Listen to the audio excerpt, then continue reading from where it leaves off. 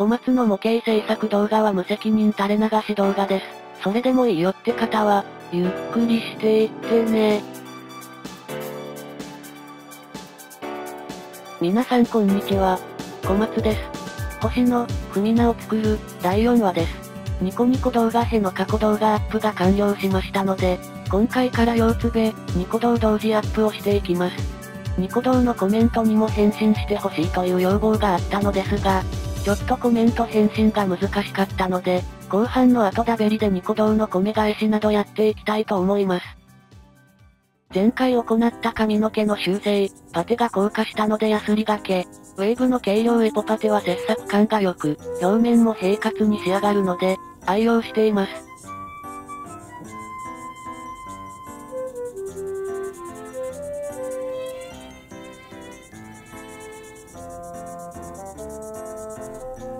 前髪なども同様にヤスリがけを行っていきます。ヤスリがけ後にサフを拭いたら傷があったのでプラパテで修正。フィニッシャーズのエポパテは緑色なので分かりやすくて良いです。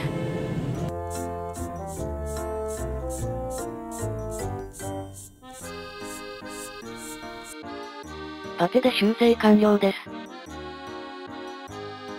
とは前回同様、髪の毛を塗装し直しました。すべてのパーツが揃ったので艶消しを吹いていきます。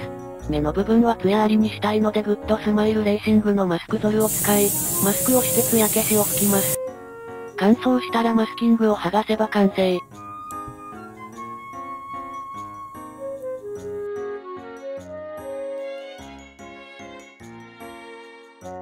艶消しが乾燥したので全てのパーツが揃いました。パーツ数が少なかった割に、思ったより時間がかかってしまいましたね。組み立てを行います。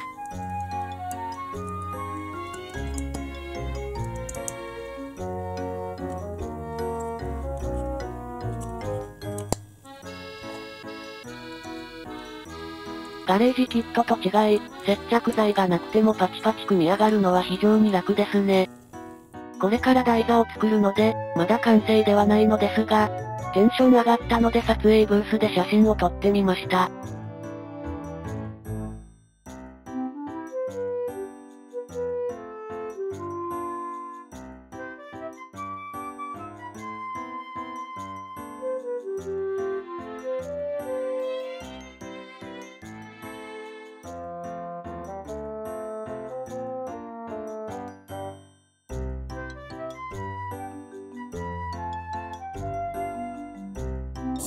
さて、台座を作っていきたいと思います。昔作ったレイゼンさんでやった海台座に近いものを作ります。用意するのはアクリルを丸くカットしたものとパイプ。光を反射したらいいな、と思いミラーを使ってみます。アクリルパイプは超音波カッターでカット。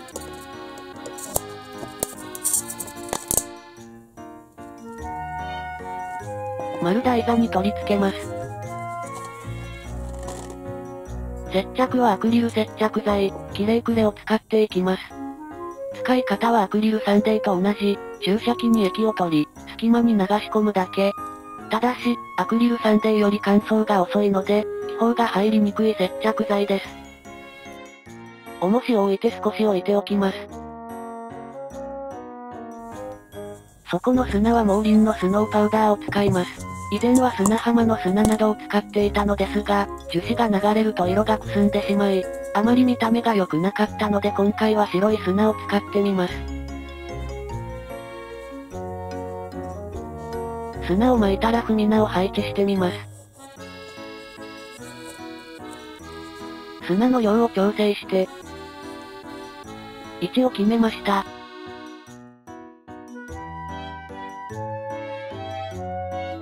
今回使うのもデブコン ET です。アルトリアの台座製作に使った余りを全て使っていきたいと思います。あらかじめラッカー、クリアブルーで色を薄めにつけておき、硬化剤と混ぜて台座に流し込みます。砂を崩さないよう、できるだけゆっくり入れます。150g でこれくらい。ちょっと台座を大きくしすぎましたかね。さらに樹脂を追加します。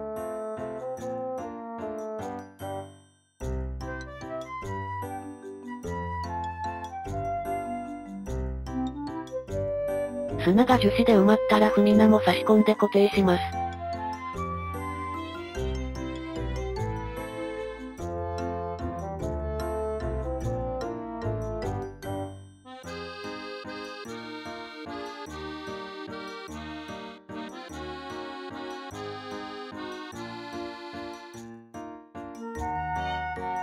残りの分をすべて流し込みました。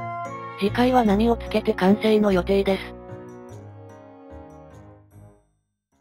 ご視聴いただきありがとうございました。ありがとうございました。冒頭でもお伝えしましたが、ニコニコ動画の過去作品アップが終わったので、今回よりニコニコ動画のコメント返しなどをやっていきたいと思います。まずはニコ動の広告感謝コーナー。猫トラ様、ファイア様、レマ様、風来坊様、ピースボーカー02様、ニーヤ様です。いつもありがとうございます。引き続うぽつ、ありがとうございます。よく手に入ったな、わら。キットは予約をしていたので入手できました。ヨドバシ京都でもすぐ売り切れていましたね。売れば一攫千金だったのに、フィグアモデラーとしてこれは作らざるを得ない。会社ではミリタリーモデラーって言ってるのに、TPO って大事だよね。前から気になってたんだけど、この白いグリップのニッパーってどこのメーカーしな。このニッパーは私の所属しているサークル、秘境や、30周年記念、特別ニッパーなので市販品ではないです。記念品も使っていくスタイル。取っておこうと思ったんですけど使ってたニッパーがどっかに行っちゃって、気がついたら使っていました。自分が何やったか分かっとんのか？分かっとんのか恐ろしい子。ああ、何かに似てると思っていたんですがそれですわ。メンタムって何ですか？メンソレータムのことです。メンタームっていうやつもあるよね。小松はメンソレータムしか使っていないと思っていたら両方持っていたので、多分どっちでも使えると思います。いい加減なモデラーだな。よかったら腰つべの方はチャンネル登録。ニコニコ動画の方はフォローお願いします。登録は慎重に。そんなこと言ったら登録してくれないじゃん。小松の最新制作状況や作品展示情報などは、小松のツイッターを見てね。私の所属するサークルの展示会情報は、秘境屋のツイッターを見てね。